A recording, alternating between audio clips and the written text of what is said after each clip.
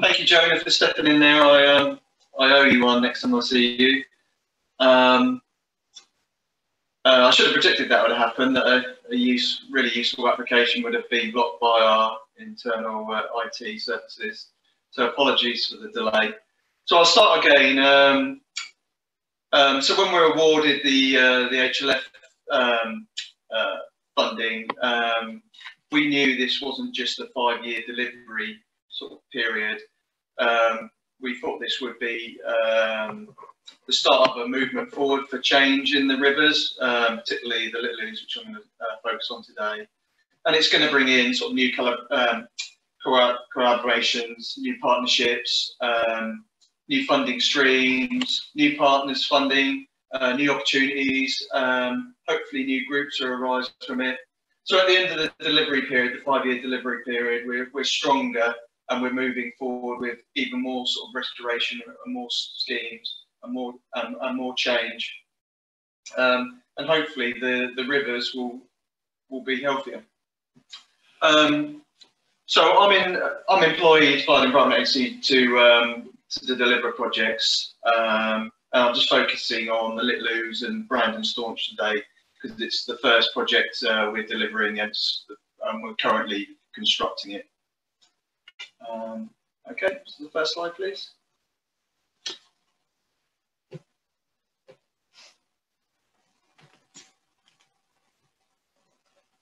Sorry, I can't see my slides, Lindsay.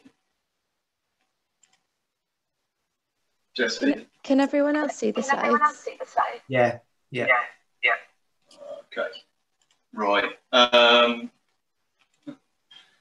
sorry, James, do you want to talk, to, your slides? And I'll try yeah, and make sure that I'm yeah. following you. Yeah. following you. So, uh, so we're on background. Hopefully, you can see that. Yeah. Yes. Um, so the Little Ouse is obviously a chalk stream. Next. Um, it's heavily modified throughout its catchment, and this is because of uh, navigation um, through uh, milling, through land drainage. Next. Um, so the catchment is mainly rural. Um, we've got a large part of the catchment is uh, forest. Um, a lot of the riparian area around the river in the catchment is um, sort of set aside grazing. It's, it's, good to see that not, there's not farming right up to the, um, or arable farming right up to the uh, side of the river. Um, next. Um, and in the catchment, we've just got one large conurbation, which is uh, Thetford, and then the rest of them are sort of small villages or smaller sort of towns. Um, so the EI, EA identified Brandon Staunch as uh, a priority barrier because uh, it's the first on in the river on the Little Ouse. Um, and in, it's also a priority from the sort of fisheries survey data that we have taken upstream of uh, Brandon Staunch. And also we were getting reports from um, anglers uh, catching sea trout or trout um, below the staunch. Unfortunately, we never had any scales taken, um, so we don't know if they were sea trout or wild trout or whether they're sort of stockies that come come down or come from somewhere. And, and also there's no connectivity. So we've got this great reservoir of the uh, um, sort of the south level system, the Ely Ouse, the CAM, and you know there's thousands of acres of water there with great coarse fishing. Um, but because of the structure at Brandon, there's no way of them moving upstream if they wanted to, so it's completely cut off from coarse fish.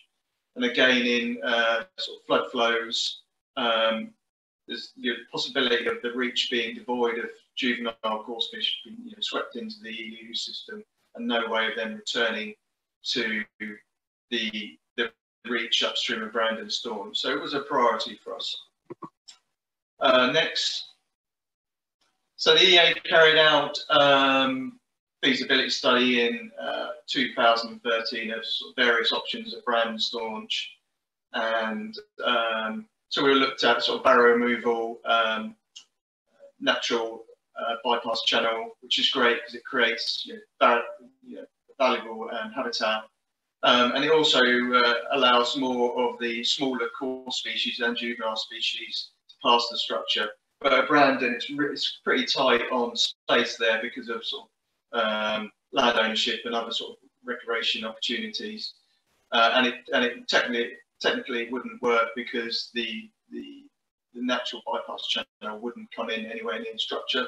So it would be likely that it wouldn't be uh, efficient because the fish wouldn't find it. They'd be attracted to the main the main storage. Um, so at the end of that, we because we had to keep sort of navigation there, and we've got a great uh, head of water, and it's controlled well by the, the sluice gate on the staunch. Um, we decided that a Larinier fish pass was the best option, so it's a single fight Larinier fish pass. Next.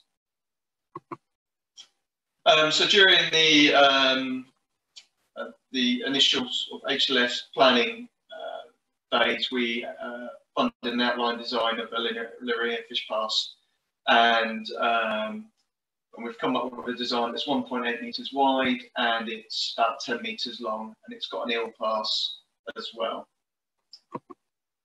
Next. So the construction started in January 2021 and it's part funded by the HLF. So next, so we should be on the slide that says wider catchment. Yes. So um, just the sort of background of the, the sort of the wider catchment and sort of how migratory fish would get to uh, the Little Ouse at Brandon.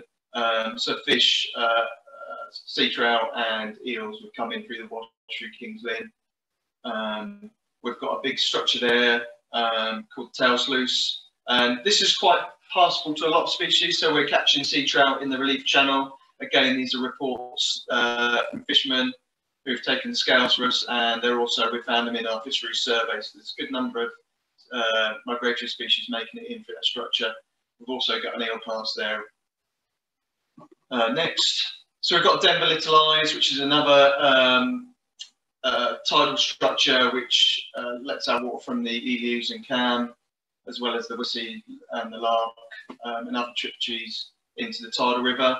Um, this is a little more um, uh, bit more difficult for sort of fish species to pass the structure just because of the head of water. So there's a very small window, and the fish would have to be, you know, it's the, it's the greatest sort of uh, swimming speed sort of fish. Um, or, or sea trout. So we think only the, the biggest trout would make it through through that um, through that structure.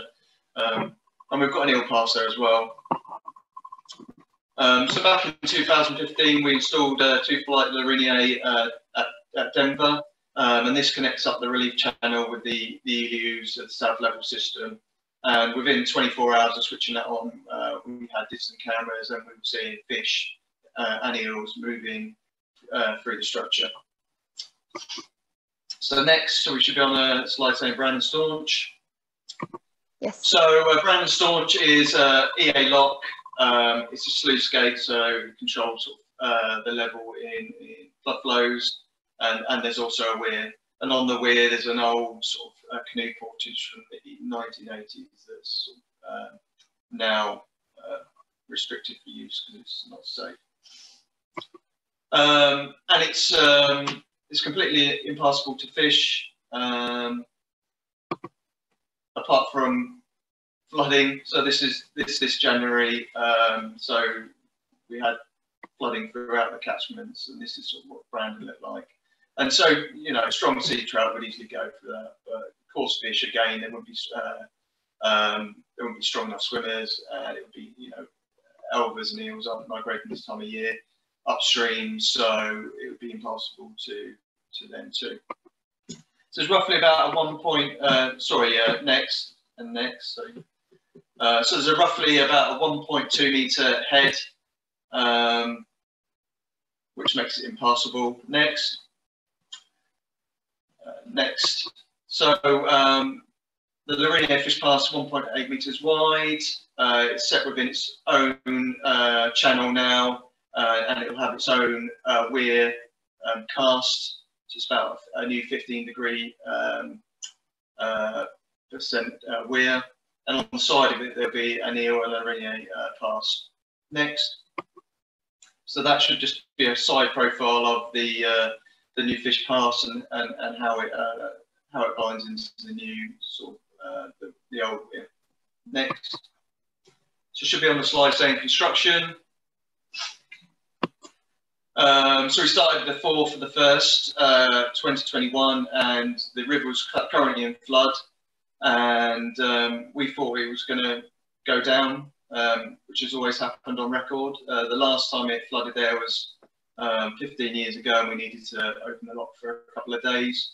And it, it just kept on coming. So next, and kept on coming, and uh, the, the, the the the lock was open for discharge, and the gate was open for discharge for over four weeks. Um, and when once they uh, sort of you know eventually was shut down and the, the sluice gate was open, the flows were were still too strong. It was just unprecedented, and you know we never knew that it was just going to continue. Um, uh, throughout the winter like that. And I think the um, the flows were 247% above the sort of long-term average or something like that. So it was just a crazy amount of water. And there's still a lot of water out there now, seeing it in fields and ditches and, and sort of springs coming coming out the side of the sort of hillside. So there's still a lot of water around now and above what it would have been in previous years. So next. So the progress so far. Um, so we started work. Um, uh, this slide is uh, us setting in the uh, coffer. We're putting some extremely long piles in there. Um, and this is to dry the weir out so we can start construction. Next. So this slide is uh, inside the coffer dam. So this is it's still wet. So they're just uh, they're still setting the coffer dam in, in this sort of slide. Um, but you can see the weir there. It's too steep for any sort of fish pass, and you can see the old canoe steps there. Next. So this is it all dried out. So we're in the dry now. The pumps uh, drain it down every morning. Um, the pumps go off at nine. It floods and it, it, it stops. Um, it stops any sort of people climbing into the structure um, at night because um, we are having people sort of break into the site. So next. So this is a just a shot of the uh, the guys wiring up. So we've started to wire up and we're pouring concrete. So we're actually at the construction uh, sort of stage and we're not mobilising or uh, demolishing anymore. So we're actually moving forward. Next. Um, so this is a, a finished Larinier. Sort of, it'll be sort of slightly bigger than that, slightly longer than that, uh, with a an eel sort of Larinier um, lamprey tiles next to it.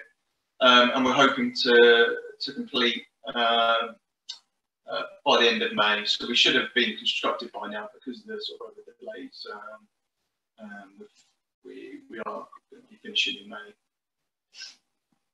So next, so the Little Ouse catchment.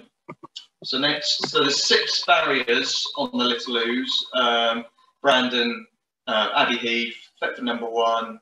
Uh, then you've got the Pulp Mill, side sluices, uh, gauging station at Ouston, and then a gauging station at Ayrshall.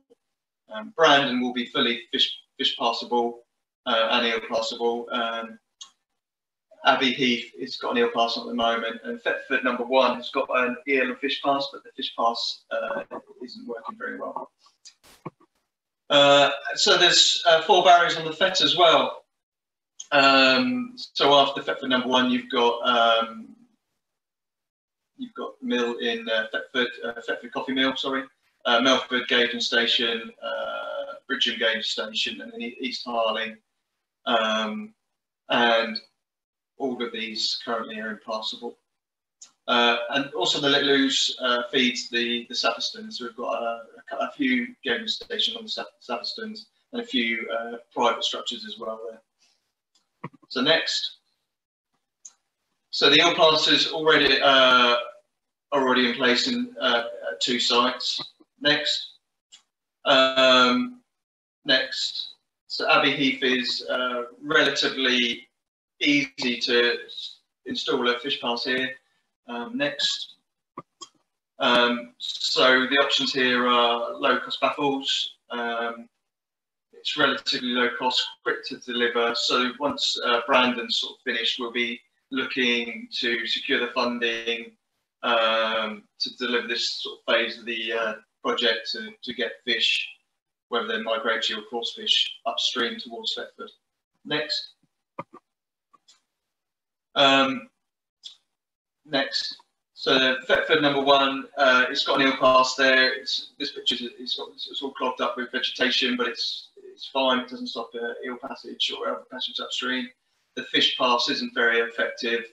Um, and we've got some options in our head that we can do there. We need to speak to partners and get partnership funding.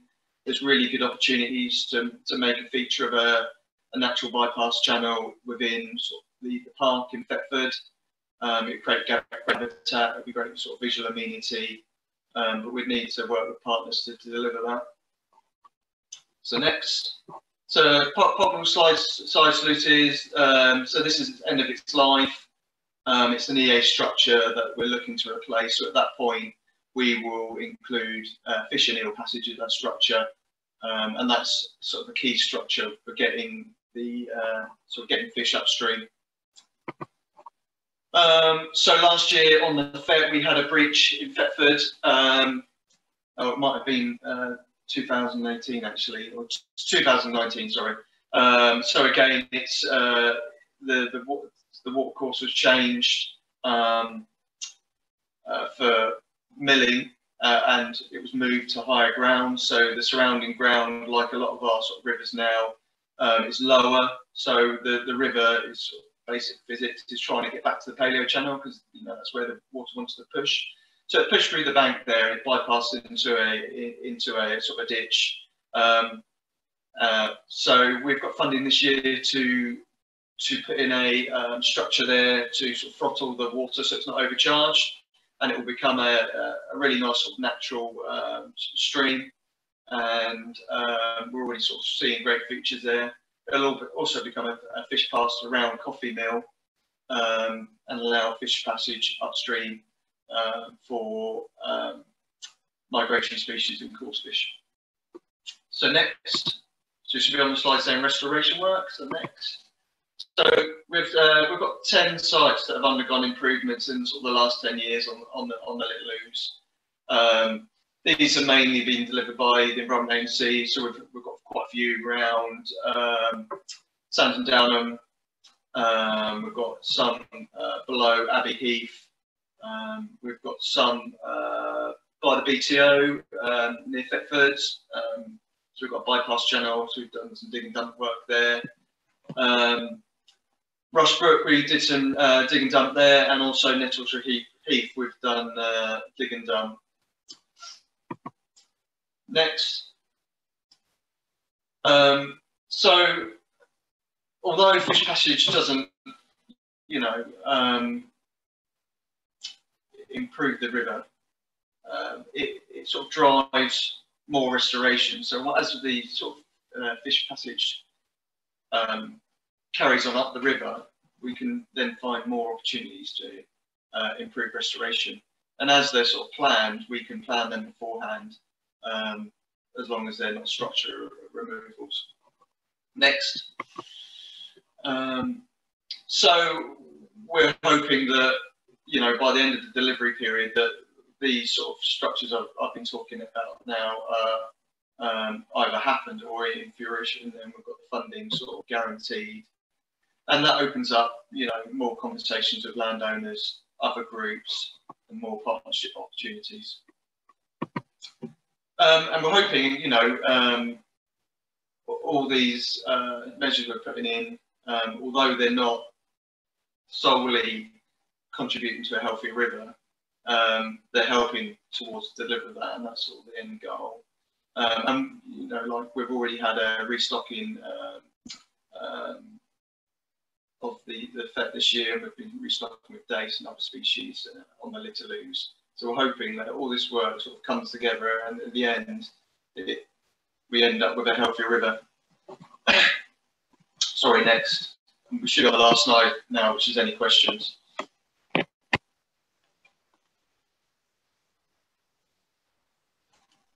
Thank you very much, James, for that presentation. Yeah, so I didn't. I should. I had I known, I would change the presentation so it was more easier to follow. I did think I was going to be presenting it myself. So sorry if we're a bit behind on slides or anything like that. Hopefully, I tracked you all right, so everyone saw the pictures. I'm getting double feedback. Getting so, double feedback, Sam, so could you do the Q and A? I can do. I can do. I think we might need to go between James muting himself, and then, and then once we've asked the question, we ask it. Yeah, sorry, James. That's um when we have you online, we go me and Sam double talk. right. Okay. So I'm just going to mute you while I ask the question, and then I'll ask you to come off mute to answer them. Sorry about that. Um, so the first um, question is from Alan Woods. What are the reasons behind it taking eight years from an option study to implementation? Was it simply funding or are there structural or systemic blockers um, in EA or other bodies that slow the process down? How can we speed up implementation of great initiatives like this? Um, blocker passes needed to enable fish passes. So that's, I'll, I'll go on mute now and let you come off and answer that.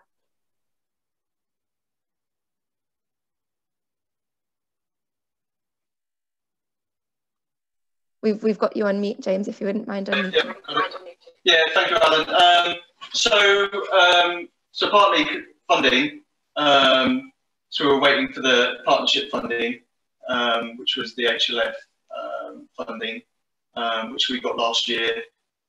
so we could have started last year, which would have taken a year off, but obviously there's a pandemic, so that slowed everything down. and then there was the delivery period, which was the outline design. So again, this was uh, we we were you know working with uh, Suffolk CC during the delivery period, um, which then fed on to sort of this sort of um, um, being awarded the HLF. So there was between outline design and, and construction, there was there was quite a long uh, period. Um, before that, we, we didn't have any sort of funding uh, allocated, so we needed the partnership element. Um, so I hope that the, blockers, so talking about the blockers, um, the, the blocking is is a long process of uh, feasibility, design and construction, but the block is finding that partnership funding or you know funding in total from the EA. Um, so it, it, depends on what sort of streams of money we find as well. So whether we need that partnership funding to, to guarantee the EA funding as well. So um, that's why it took so long. Thank you very much, um, James. Uh, I've got two, I'll give you two questions um, so that you can, you can go from one to the other. So the first question is, are you consulting or liaising with leisure groups on river restoration or passes? And um, the second question was how much of this upgrade was driven by eel regulation issues, if any?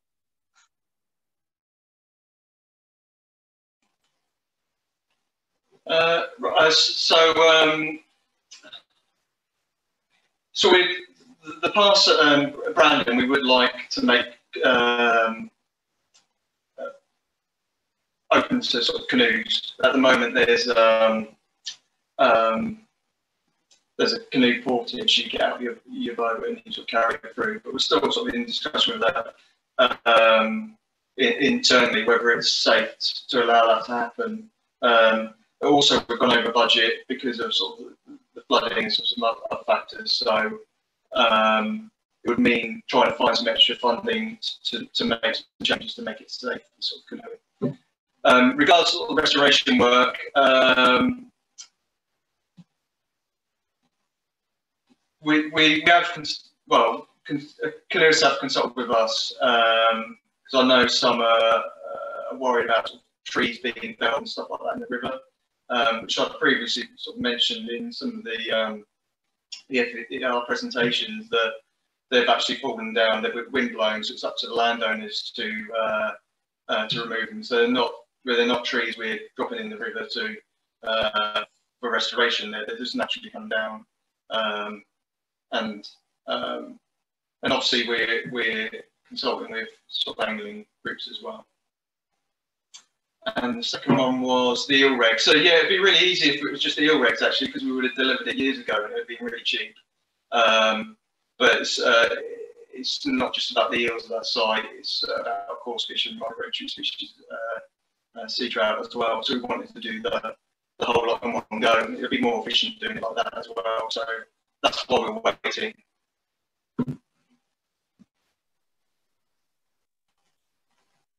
Thank you. So um, the next point to mention is you've got lots of comments from people saying it sounds it looks like really great work and people are um, keen to stay in touch and hear more about the project um, and seeing some more results once the pass is finished. So that's just a, a comment really. And then a question is how much do you have to deal with public opposition and misunderstanding of what you're trying to achieve? How much can you just allow rivers to take their own path? So that's from Teresa for you, James. Yeah, I'll, I'll, just add that if you go onto the BFER uh, website and go onto their Facebook page, uh, they're, they're sort of posting updates of the uh, the fish pass. So that at the moment they've got a really nice video of um, uh, a, a, drone flying over the site, uh, and we're also taking a time lapse time lapse of the the whole project. So um, you'll be able to uh, see the construction in process. You'll be able to see people breaking into the site as well. So um, but yeah, um, so yeah, we, that, that, you know, that's in, in all projects and, and um, um, obviously after this winter, um, we're getting a lot sort of uh, consultation or, or, or complaints, uh, misconceptions about the rivers should be, you know, they should be dredged, you know, all, all the trees should be removed. Um, and even where it's not affecting, you know, obviously there's a difference where it's affecting properties, uh, flooding properties, um, you know, where it's flooding farmland or footpaths, people are expecting us to, to dredge the, the rivers so they're sort of dry. So there's a lot of sort of misconception there. Um, to keep the water out of the floodplain, and that's done by dredging. But you know, the water we saw over Christmas, it, doesn't matter what we did, it would still come out of bank, it would still go in the floodplain because of the volume of water. Um, I can't. Sorry, I can't remember what the first part of the question was. So really, um, it was about the how much you have to deal with public opposition. Yes. So there's not much opposition actually on, on this scheme. It's quite straightforward because um, it's, it's an EA structure.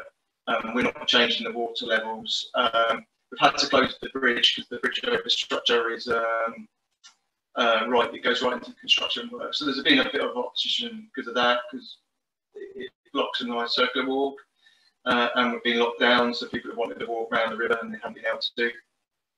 Um, but yeah, that site's um, it's not really sort of contentious. They're sort of contentious where we where we've got sort of structures that need removing um, or historic structures that, that, that need removing. So there's another group that you know, want us to keep those structures. Um, and it's hard. It's um, it's like delivering Brexit. You know, you can't deliver Brexit and keep everyone happy because um, everyone wants something different out of it. So um, there's, you know, obviously you've got canoeists want something different to the fishermen. Uh, the fishermen want something different to uh, the conservationists. Uh, so it's really it's a real hard balance to sort of uh, sell some of the projects because there's going to like there's going to be opposition to elements of it, uh, and you know sometimes you, you just cannot work um, a design to keep everyone happy. Thank you. And then the final um, two points were about um, was this part of the Fen Edge project? And a second request for more publicity and explanation, the ability to look up um, what is happening. I think that's been partially answered by your points about um, um, the, the page that Sam Westford has shared um, with everyone on the chat. So you can look at the BFER website that James um, mentioned, but I'll just let you come in, James, if you want to add anything to, to either of those points. Yeah, sorry. So the HLF funding, BFER project is part of the uh, FenEdge project, which is uh, the Heritage Lottery Funding project, uh, which is delivering um, projects throughout the Fens, uh, the Wissey, the Little Ouse, the Lark, um, in the next sort of five years or four years, because we've lost a year. So. Well, thank you very much, James, for, for that great presentation. And it's um, really good to see the, the pictures as well as the, the description. So I appreciate you making the effort to share that presentation with us. Um, and thank you everyone to your to your patience while, while we bed with that as well. So um, really appreciate that. We will um, obviously go through this this chat um, as well for anything that may have been missed and all of the good points following the Anglian Water session as well that I can see have been coming in. But thank you, James. All right, um, that takes us to the close of the conference. Um, I don't have any slide for this, but we just wanted to say um, a, a, huge um, um, yeah, great gratefulness from us really, from the presenters to prepare those slides for us and to share those CamEO projects, successes and, and key priorities going forwards. We're really looking forward to seeing what what the projects deliver and really importantly the areas for partnership opportunities which I think everyone can agree are, are tremendous from from generally but also from coming out from the call yesterday and today um, as CamEO hosts, we look forward to working with you on the CamEO partnership as we spoke about this morning. And um, we will be sharing information about all the projects that were talked about today because it sounds like there's um, a, a, lot of further conversations to be had after today. Um, Sam and I will share all of this with you by email, but please do reach out to us for questions or if you want us to link you up with anyone in this forum, we can provide that support as well. Um, but let's um, continue with this drive to really help support subcatchment partnerships to deliver all of this great work and to work together within CamEO to um, get all of this success celebrated and known about and shared with CaBA and, and other frameworks. So um, Sam, I don't know if you have any final words to add add to that. Thanks, Jessie. No, just to just to echo your thoughts. It's been it's been a, a long while in the making, this conference. Um, and I mentioned yesterday that we'd got away without any technical glitches, but we've got a full array of the beauty of a virtual conference today, but I think it just adds to the character personally. Um, but no, thank you all for coming. It's been great that we've been able to share this with so many people. Um, we've had well over 50 participants throughout both days, so um, that's really great. And we're just look forward to moving forward and driving forward all of this excellent work within CamEO. So just echoing your thanks. Great, thank you all. It's strange not to see all your faces to say goodbye, but here, here they are from me. So see you all soon.